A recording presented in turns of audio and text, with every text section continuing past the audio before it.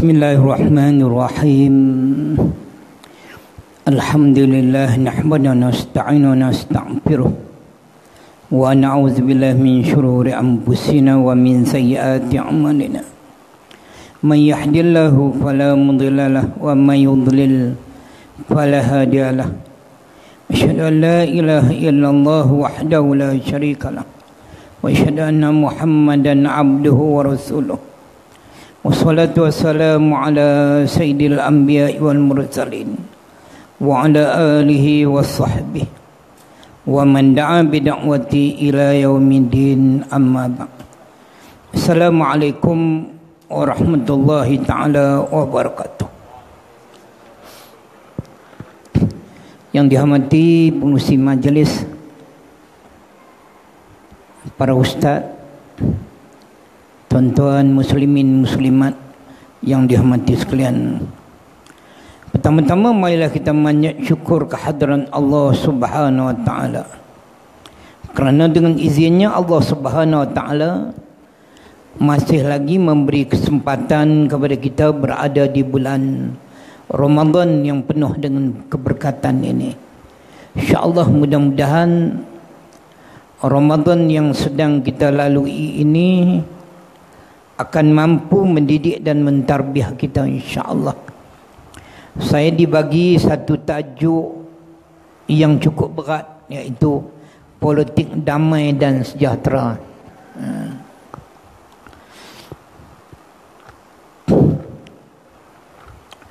Sebelum itu marilah sama-sama kita melihat firman Allah Subhanahu wa taala di dalam Al-Quranul Karim. Wa ma arsalnaka illa rahmatan lil alamin. Dan tidak kami utuskan engkau wahai Muhammad melainkan untuk memberi rahmat kepada seluruh alam. Dengan lahirnya manusia yang bernama Muhammad seluruh alam ni menjadi selamat menjadi sejahtera eh? menjadi damai dan sebagainya. Tetapi kenapa mutakhir ini umat yang bernama Islam berada di dalam keadaan kacau berada di dalam keadaan bercelau begitu juga di negara-negara umat Islam. Ianya tidak lain dan tidak bukan apabila umat Islam tidak mengambil petunjuk dan panduan daripada Allah dan Rasul maka mereka berada di dalam keadaan tidak menentu. Bukan mereka tidak ada ilmu ada ilmu. Semua ada ilmu semua pandai belaka. Tetapi akan tersasar. Apabila kita tidak berada di atas eh, panduan yang Allah dan Rasul bagi kepada kita. Sebab itu benda-benda yang macam ini kita tengok politik ada orang tidak memahami dia mengatakan politik tidak ada dalam Islam. Karena dia tidak mau berpolitik. Dia kata politik itu kotor. Sebenarnya politik tidak kotor, yang kotor manusia. Manusia yang tidak ada panduan. Manusia yang tidak ada panduan dia akan berada di dalam keadaan berbagai posisi eh? dia berada di dalam keadaan berbagai posisi. Kalau dia berpolitik tetapi nawa itu dia tidak betul. Nawa itu dia kerana nak nama nak kedudukan nak pangkat nak kemenangan maka dia tidak akan sampai ke mana-mana. Sebab itu saya teringat di dalam dakwah baginda Rasulullah sallallahu alaihi wasallam baginda diuji dengan tiga ta. Harta wanita takhta semua ditolak oleh baginda Rasulullah sallallahu alaihi wasallam. Ha? semua Rasulullah tolak. Ujian ini ialah yang berlaku kepada umat Islam mutaakhir ini. Ha? mutaakhir ini ujian benda-benda yang begini. Sebab itu kita lihat di dalam surah awal surah eh, takasur Allah Subhanahu wa taala menyebut alhaakumut takasur hatta zurtumul maqabir. Manusia bangga dengan harta benda banyak anak pinak banyak pengikut penyokong banyak sehingga mereka ditarik masuk ke dalam lubang kubur. Kenapa jadi begitu? Kerana dia tidak ada panduan kalau dia berpolitik dia ada panduan dia tidak akan jadi lagu tu kerana dia amanah kita kena berpolitik. Kalau kita tak tidak berpolitik, ya, negara kita akan dimiliki oleh orang lain. Oleh orang-orang yang tidak ada agama. Apabila orang-orang tidak ada agama pegang politik, mereka akan buat apa saja bujur lalu melintang patah. Semua dia buat. Kerana tujuan dia nak menang. Tujuan dia nak menang dia tak kira haram halai dosa pahala. Tetapi orang yang ada akidah, orang yang berpolitik yang ada akidah, ada akhlak, ada maruah dan harga diri, ia tidak tersasar. Ia tidak akan buat benda yang diharamkan oleh Allah walaupun kerana dia nak menang. Dia tak akan buat. Kerana itu larangan Allah. Dia nampak benda itu.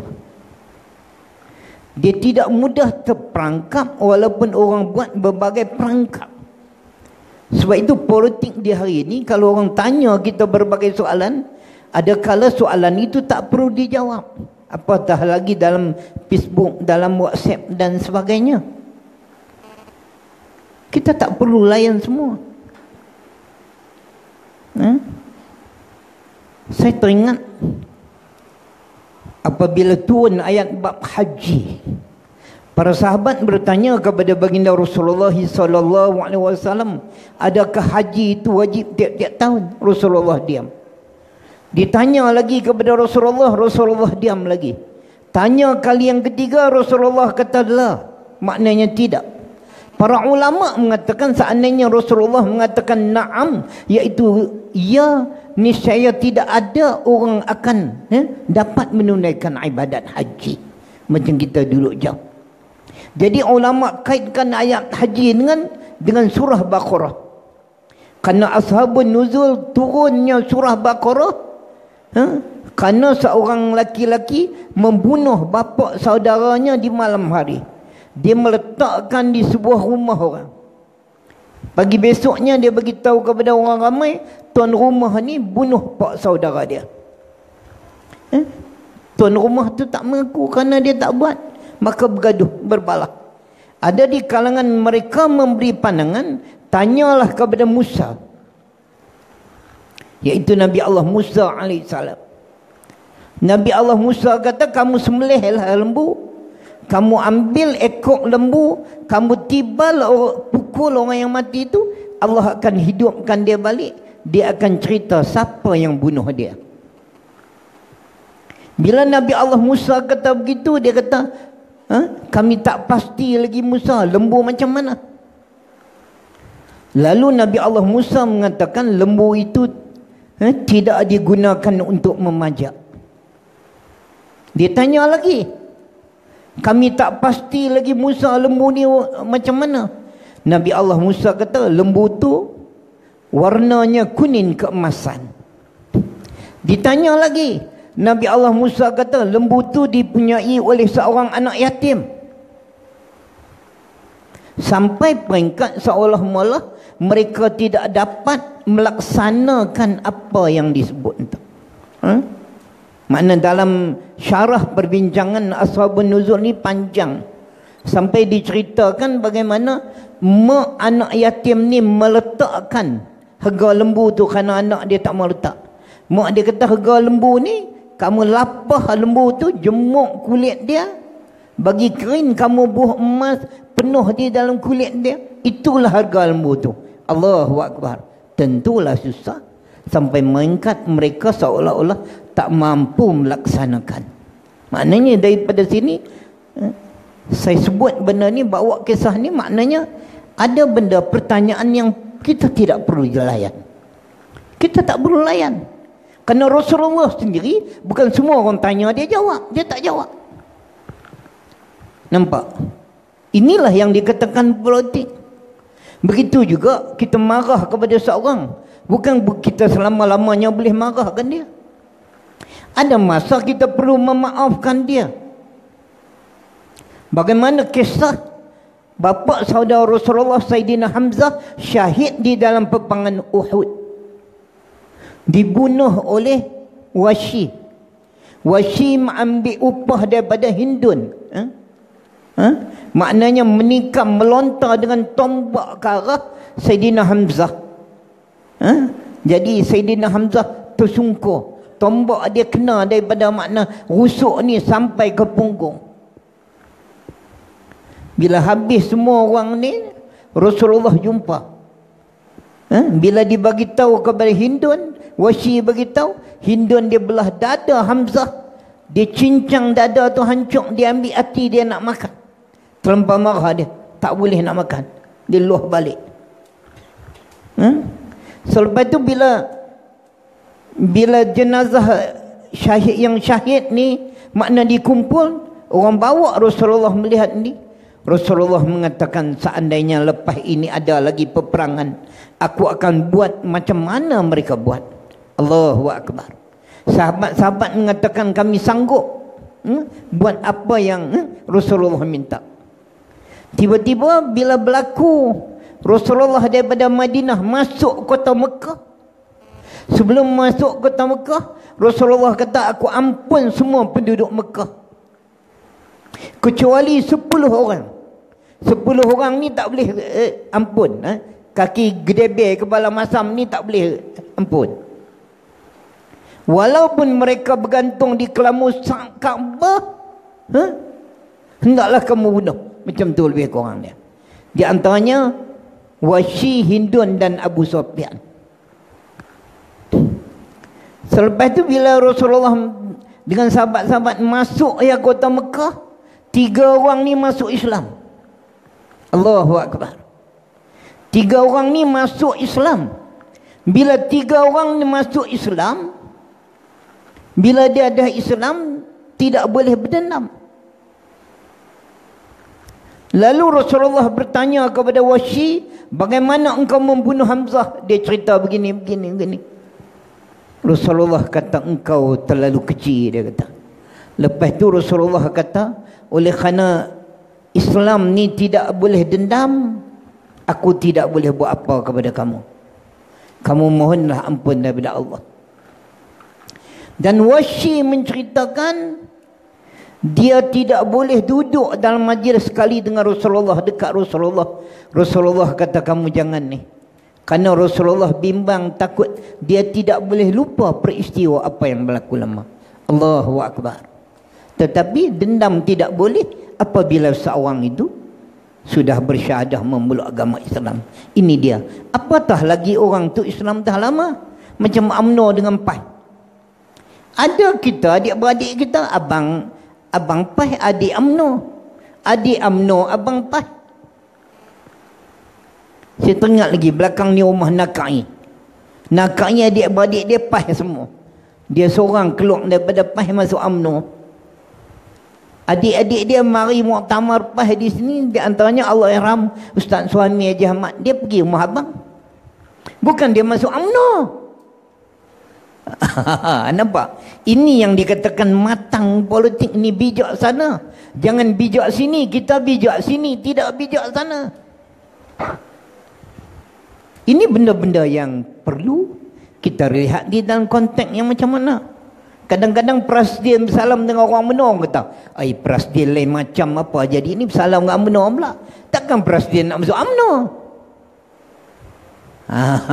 jadi Inilah kita tak faham itu dinamakan politik. Ini benda-benda yang eh, yang perlu kita lihat. Dan ada bab-bab yang tertentu kita saling tolong menolong. Al-Quran menyebut wa ta'awanu 'alal birri wat taqwa wa la ta'awanu 'alal ismi wal 'udwan. Hendaklah kamu tolong menolong di dalam melakukan keimanan dan ketakwaan. Janganlah kamu tolong menolong dia dalam melakukan maksiat dan kederhakaan. Tak boleh. Buat maksiat, kejahatan, buat dosa ni tak boleh. Tolong menolong dalam kebaikan tak apa. Macam Tuan Guru pergi satu program himpunan mengenai rohaya. Hmm?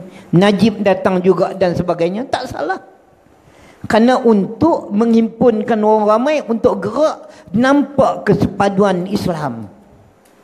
Untuk menentang musuh-musuh Islam yang menekan Islam. Dia ada cara dia lah. Ha, ini, kena, ini kita kena faham. Ini kita kena makna reti suasana yang bagaimana. Politik ni bukan maki orang. Jagalah adab dan akhlak. Eh? Semut tidak mati kerana garam. Semut mati kerana gula. Maknanya kalau kita ada adab dan akhlak, orang maknanya tak boleh nak buat apa dengan kita. Dia marah hal guna pun dia tak lama marah. Ni, ha, ini benda-benda yang kita kena jaga. Ha, di dalam keadaan suasana-suasana yang tertentu. Dan kadang-kadang kita nak tackle orang, sebab itu dia ada satu istilah di namanya dakwah lisanul hal ala lisanul mahal. Dakwah perbuatan tu lebih baik lagi daripada percakapan. Kadang kita bercakap baik. Kita pakai jubah, pakai saban, tiba-tiba isam okok. Allah orang kata apa orang ni? Pakai saban, pakai jubah, isam okok. Dia baca doa Allah majidna minan Allah majidna minan Selamatlah aku daripada api neraka. Api duduk ujung mulut. Macam mana tu? Kalau Allah Ta'ala kata aku nak test dia tengok. Tiba-tiba tengah isap rokok duduk di sofa dia terlena. Lena-lena. Dia terjaga dia menjerit. Oh tolong. Aduh. Bini ada dia pergi tekam habis. Kenapa abang? Dia kata panas. Rupanya mulut dia penuh dengan api. Api hak tadi dimakan mulut dia. Panggil rombolan bawa pergi hospital. Doktor pun bukan terkejut beruk lagi kong kengkong tuan-tuan. Apa jadi ke orang ni ni? Ha, contohlah. Apa jadi ke orang ni? Badan tak terbakar, mulutnya ter terbakar. Ha? Mulutnya terbakar. Kenapa? Dia kata saya isap okok tadi ni tapi terlena dia kata. Allahu akbar. Ha, ini benda-benda yang kita kena ingat. Allah boleh jadi macam-macam. Allah boleh jadi berbagai benda. Sebab itu kita kena bijaksana di dalam melihat berbagai benda. Orang yang beriman bila dia berpolitik tu dia nak menyelamatkan manusia, umat Islam. Umat Islam. Ramai kita melihat. Kadang-kadang orang tak mau kepada Islam. Orang tak mau politik Islam. Bukan politik Islam tu tak baik. Orang yang membawa politik Islam tu tak baik. Dia menjaga produk dia baik. Tetapi orang yang menjaga produk tu, dia jual produk kudai buta. Tapi badan dia penuh dengan kudai buta. Siapa nak beli? Orang pun tak percayalah. Produk kudai buta tapi badan dia penuh dengan kudai buta. Dia jual produk jerawat. Muka dia penuh dengan jerawat. Orang nak beli, orang tak beli. Nampak? Ha, begitu juga di dalam bab politik. Maknanya jaga akhlak kita. Bukan orang tak mau dengan Islam. Ha? Orang mau dengan Islam. Apa salahnya kalau kita nak tarik orang kepada Islam, kepada jamaah Islam, kita belanja dia minum teh tarik syawan.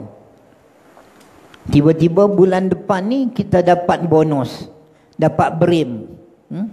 Kita pergi minum di warung tu ada 10 orang. Uh, Syekh Bakang semua minum tu. Kita panggil tokai mai sini mai. Tanya dia orang nak makan apa. Ha. Semua orang makan tu kita bayar. Kita bayang orang terkejut ai. Orang ni tak ada duit tapi dia boleh bayang. Ah ha, nampak tuan-tuan. Ini satu cara. Hmm? Satu cara santai-santai. Ini benda-benda yang kita kena buat. Banyak benda yang yang kita tak eh? kita tak buat tuan-tuan. Eh? Kita tidak jaga. Hmm? Jadi benda-benda yang begini, bagaimana kita nak tackle orang? Bagaimana kita nak tackle? Nak, men, eh? nak menamat hati orang? Baginda Rasulullah sallallahu alaihi wasallam tawan penduduk Mekah dan Madinah dengan hati dan jiwa. Kita nak tawan masyarakat, tawanlah hati dan jiwa mereka. Kalau hati dan jiwa mereka kita dapat tawan, kita dapat tawan masyarakat. Kita dapat tawan negara. Ini kita kena fikir-fikir bagaimana. Ni macam eh, pelajar-pelajar yang muda ni. Kalau kamu naik bas, tiba-tiba tengok orang tua, orang mengandung perempuan duduk berdiri. Apa salah kamu yang duduk atas bangku tu bangun bagi orang yang mengandung duduk. Bagi orang tua yang duduk berdiri itu duduk, orang buta duduk. Tetapi kita orang Melayu yang Islam ni cakap saja tapi kita tak buat. Orang bukan Islam dia boleh bangun daripada bangku. Ah, mari makcik duduk. Allahu Akbar. Kita buat bodoh, buat lena ya tuan-tuan. Tak lena pun lena masa tu. Bagaimana kita nak menampakkan Islam baik tak ada. Kadang-kadang mungkin perangai kita. Ataupun kita tak boleh buat satu benda yang orang melihat itu benda baik. Saya kadang-kadang di dalam bak berdakwah ni tak lama lah. Lebih kurang terlibat dalam dakwah baru 30 tahun. Saya ketika Allah uji berada di hospital besar Kuala Lumpur. Seolah-olah macam ada masalah jantung. Rupanya kerana terlalu letih dan penat. Bila berada di sana, turun kepada tingkat tiga, ada surau ambil Quran bawa naik ke tingkat eh, lima kalau tak silap saya. Satu. Saya ni orang kampung tuan-tuan. Tuan-tuan tak bahalah orang bandar. Saya ni saya kawan kampung. Duduk dengan atuk dan nenek. Orang Kedah panggil Tok Wan dan Tok. Ha? Tok Wan dan Tok Didik ni baca Quran ni. Ustaz Aziz, junjung Quran dulu. Cium Quran, peluk Al-Quran. Sampai macam tu saya buat sekarang. Jadi saya duduk dalam dalam buat tu. Saya sebelum baca saya buat tu. Junjung, cium peluk. Selang satu katil dengan saya Seorang Cina daripada sungai petani Yang bukan Islam Dia mari dekat saya Dia dah nak pegang Al-Quran Saya kita minta maaf You bukan Islam tak boleh pegang ini kitab Lepas tu dia kata kepada saya Bila you baca kitab itu Saya rasa tenang dia kata Kalau tidak dia kata Petang-petang macam ni Saya macam orang takut Allahu Akbar Saya ustaz tak terasa yang dia sebut kita baca Al-Quran kita tak terasa. Memang Al-Quran sebut. Contohnya di antaranya di dalam ayat huh? surah Al-Anfal. Innamal mu'minuna allazina iza zukirallah wajilat qulubuhum wa iza tulian alaihim dadadhum imana. Sesungguhnya orang yang beriman tu bila disebut nama Allah gemetar hati mereka. Allahu Akbar. Bila dibaca ayat-ayat Allah kepada mereka, zadadhum imana. Bertambah iman mereka. Allahu Akbar. Kita tak rasa. Kenapa kita tak rasa lagi? Karena dalaman kita kosong. Makanan jasad saja banyak. Makanan jasad, mi bandum, mi latna, kuih kompu, macam-macam. Tapi makanan ruh ni tak ada kosong. Tu yang tak ada apa? Contohnya kita berzikir. La ilaha illallah, la ilaha illallah. Dua bibir mulut dengan lidah yang bergerak. Tidak sampai ke hati. Maka hati kita, kita tidak rawat.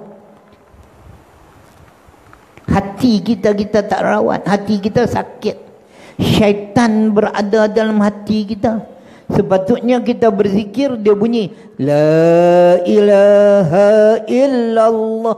Berdegup dah hati kita.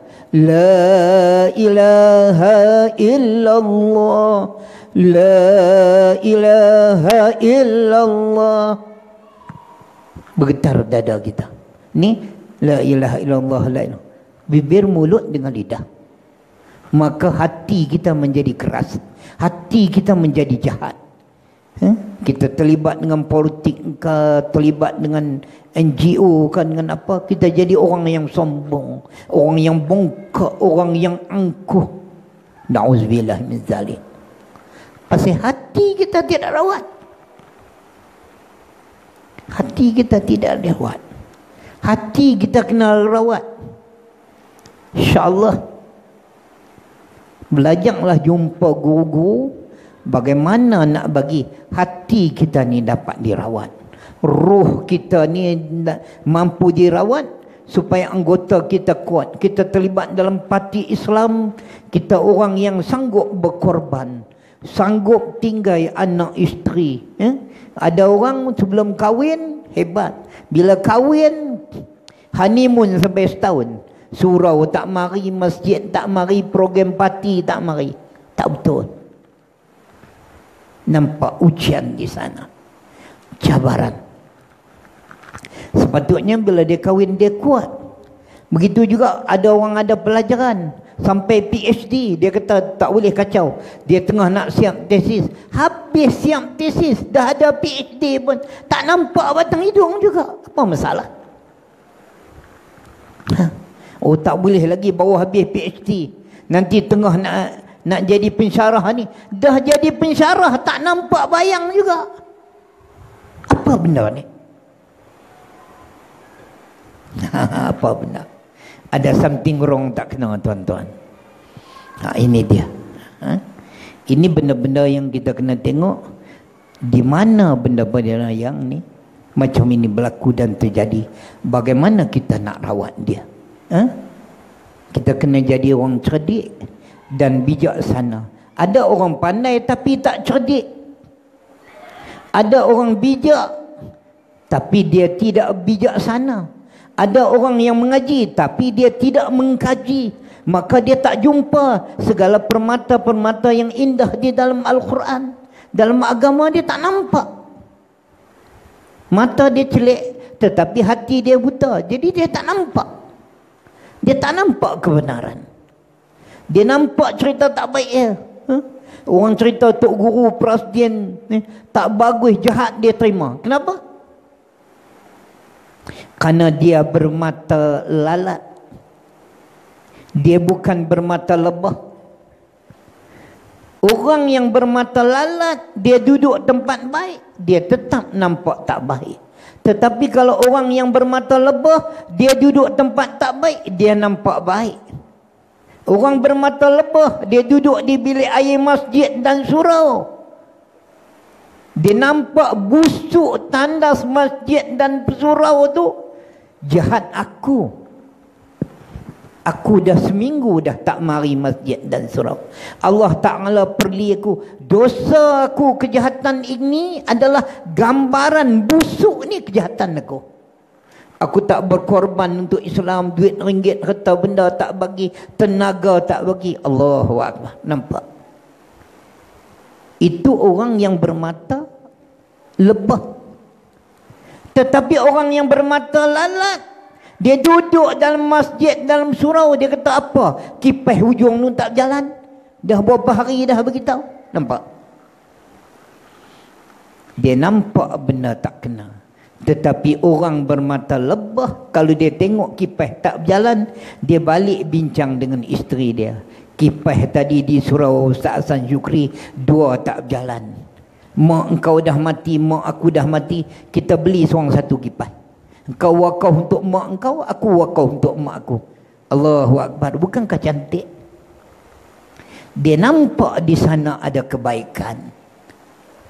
Di sana ada keindahan yang dia nak buat. Begitu juga kalau dia duduk dalam parti politik. Ha? Politik Islam dia nampak tak jalan program tak jalan ni. Dia tengok tiba-tiba apa. Sembut tu dah. Dah bertahun-tahun dah tak berganti. Puda dah. Bendera pun koyak. Dia tak bisin. Sengap-sengap dia pergi beli bendera besar. Dia panggil orang Indon suruh naik bendera tu pacak. Huh, nampak? Hero lah dia. Kita komplain tapi kita tak buat. Ha, nampak tuan-tuan? Pandai komplain tak pandai buat. Semput tu dah lama dah. Bisi lama.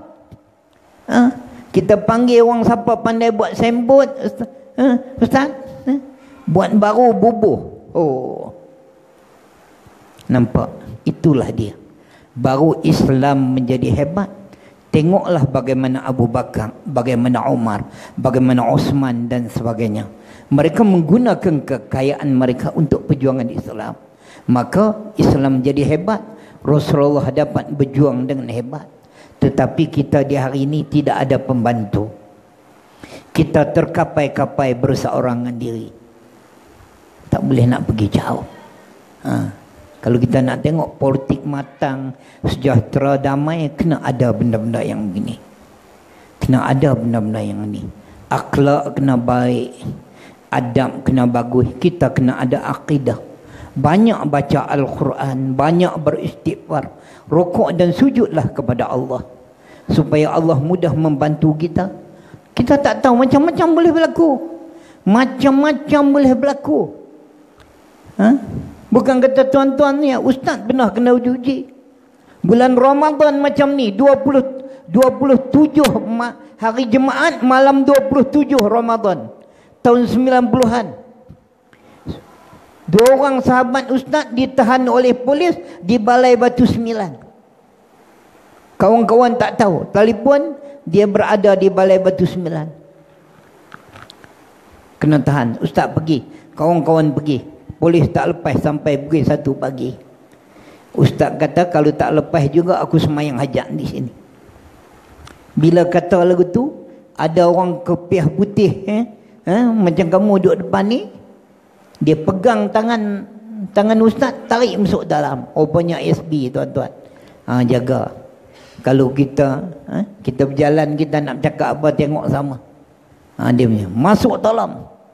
Dia kata tadi kamu kata nak semayang tu surau dia kata. Kamu ingat kami tak ada surau? Itu bila ayam kamu ambil uduk semayang. Allahu akbar. Kita nak buat macam mana? Saya semayang. Semayang, zikir, berdoa dan sebagainya. Dia lepas kawan yang duduk kurung. Dia main pujuk saya. Pujuk ustaz. Suruh berhenti semayang. Semayang apa lama tak pergi tak berhenti. Rupanya keluar ni ya, di luar. Kawan-kawan kata ustaz buat apa? Polis lari keluar habis daripada belai. Dia keluar habis daripada belai ustaz ni. Ha, tak tahu aku semayang. Dia suruh semayang aku semayang lah. Ha, jangan kita takut. Wasta'inu bisabri salah. Mintalah pertolongan kepada Allah dengan sabar dan sembahyang.